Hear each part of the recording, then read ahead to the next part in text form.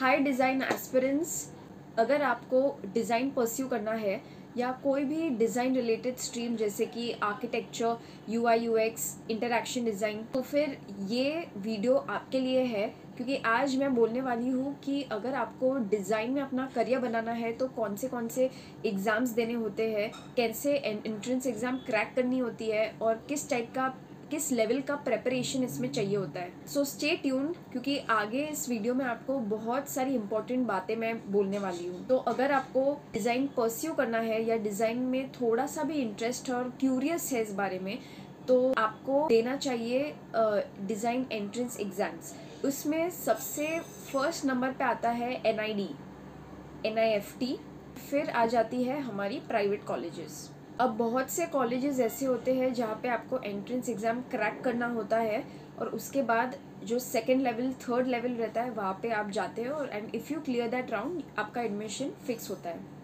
अगर आप N I D two thousand twenty four की एग्ज़ाम में अपेयर करने वाले हो या सोच रहे हो कि आगे फ्यूचर में अपेयर करें तो फिर ये वीडियो को देखते रहिएगा और मैं आपके साथ शेयर करने वाली हूँ एनआईडी का सबसे इम्पोर्टेंट प्रेपरेशन स्ट्रैटेजी एन में दो फेजेस रहते हैं। एक है प्रिलिम्स और एक मेंस प्रिलिम्स की बात करें तो उसमें दो पार्ट्स रहते हैं।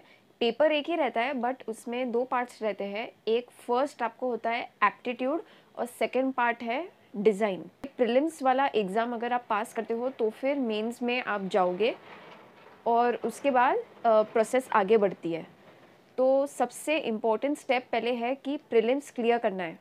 अब प्रिलिम्स में एप्टीट्यूड वाले सेक्शन का थर्टी परसेंट वेटेज है और डिज़ाइन सेक्शन का seventy percent majority of the portion design cover कर लेता है। तो उसमें सबसे ज़्यादा स्कोर करना बहुत इंपॉर्टेंट है। एप्टीट्यूड की अगर बात करें तो बहुत ही बेसिक और एक एवरेज स्टूडेंट भी उसको क्लियर कर सकता है। तो अगर आप थोड़े से भी अबव एवरेज हो तो आपको चिंता की कोई बात नहीं है। क्लास टेंथ की मैथ्स होती है, जो आपने, जो हम सबने नाइन्थ और टेंथ में किया हुआ है, वही मैथ्स के क्वेश्चंस यहाँ पे आते हैं। और उसे क्लियर करना बहुत टफ नहीं है। कुछ कुछ सेक्शंस कुछ कुछ टॉपिक्स है, जो आपको ज़्यादा हाईलाइट करनी ज़रूरत है और ज़्यादा प्रैक्टिस करने की ज़रूरत है। Like quantitative aptitude logical reasoning analytical reasoning और जीके एंड करंट अफेयर्स ये सेक्शन में पीछे नहीं रहना तो फिर स्टार्ट रीडिंग न्यूज़पेपर्स जो एटलीस्ट हर रोज़ रोज़ पेपर नहीं पढ़ सकते तो स्टे इन टच कि क्या ट्रेंडिंग है, क्या चल रहा है, क्या हेडलाइंस है।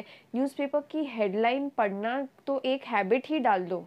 जो आर्टिकल्स आते हैं, वो पढ़ना शुरू करो। अब आते हैं हमारे डिज़ाइन सेक्शन पे। इस सेक्शन का ब्रह्मास्त्र है कि जितना भी देख सकते हो, उतना देखो। Your observation is what matters अब ये लोग को आर्टिस्ट नहीं चाहिए कि जो बहुत अच्छा अच्छी कलाकारी करके दिखाएगा, बहुत अच्छी ड्राइंग करेगा तो उसको एडमिशन देंगे। ये आर्ट कॉलेज नहीं है, ये डिज़ाइन कॉलेज है। तो यहाँ पे मैटर करता है कि आप कितना सोचते हो, कितना ऑब्ज़र्व करते हो उसको इम्प्लाई करते हो अप्लाई करते हो अपने अपने थॉट प्रोसेस के साथ, उन्हें समझना है कि आपका माइंडसेट कैसा है, आपकी थिंकिंग कैसी है। तो try to be as creative as possible keeping the observation that you always done throughout the day observation का मतलब ये नहीं है कि सब कुछ देखो और कुछ छोड़ो मत, ये वैसा नहीं है, ये कॉन्शियसली नहीं होता, ये सब कॉन्शियसली आता है। तो ऐसे शुरू करो कि स्टार्ट आस्किंग क्वेश्चन लाइक ये क्यों हो रहा है? ये क्यों ऐसा नहीं हो रहा है? कि कारपेंटर ऐसे काम क्यों करता है? एंड स्टार्ट अंडरस्टैंडिंग कि क्या टूल्स किसके लिए, कौन यूज़ करता है? अभी इलेक्ट्रिशियन अगर आपके घर पे काम करने को आया है तो कौन से कौन से टूल्स वो यूज़ कर रहा है? और किस काम के लिए, किस वर्क के लिए? सेम गोज फॉर प्लम्बर तो स्टार्ट अंडरस्टैंडिंग यही है ऑब्जर्वेशन और कुछ नहीं है। What when where why how ये चीज़ आपके दिमाग में हमेशा चलती रहनी चाहिए। I call this developing the designer's eye daily life में, हमारी रोज़ाना की ज़िंदगी में प्रॉब्लम्स ढूंढना शुरू करो कि क्या प्रॉब्लम्स है और क्यों है। अभी क्या हमने कभी ऐसा सोचा है कि बारिश में हम अम्ब्रेला ही क्यों यूज़ करते हैं? और और अम्ब्रेला यूज़ भी करते हैं तो कई बार उसमें कितनी सारी दिक्कत आती है। गाड़ी से निकलते वक्त, गाड़ी के अंदर जाते वक्त हमें बंद करना इजी नहीं होता। तो क्यों नहीं होता? और क्या उसकी मैकेनिज्म उसके लिए डेप्थ में जाना बहुत ज़रूरी है। उसके मैकेनिज्म को समझना ज़रूरी है, कैसे वर्क करता है, हम क्या कर सकते हम अपना इनपुट एज अ डिज़ाइनर क्या दे सकते हैं कि प्रोडक्ट और बेटर हो जाए। तो अगर ऑब्ज़र्व नहीं करेंगे तो अपनी क्रिएटिविटी अप्लाई नहीं कर पाएँगे। So try to understand and have a keen eye sketching अब ये इतना इम्पोर्टेंट है कि आदमी को चलना है। पर पैर नहीं है तो कैसे चलेगा? स्केचिंग हमारा पैर है। और स्केचिंग के बिना हमारी गाड़ी तो आगे बढ़ेगी ही नहीं। So start sketching as soon as possible and sketch anything and everything जो भी मिलता है। घर में इतनी सारी चीज़ें हैं, कुछ भी पकड़ो और शुरू कर दो स्केच करना।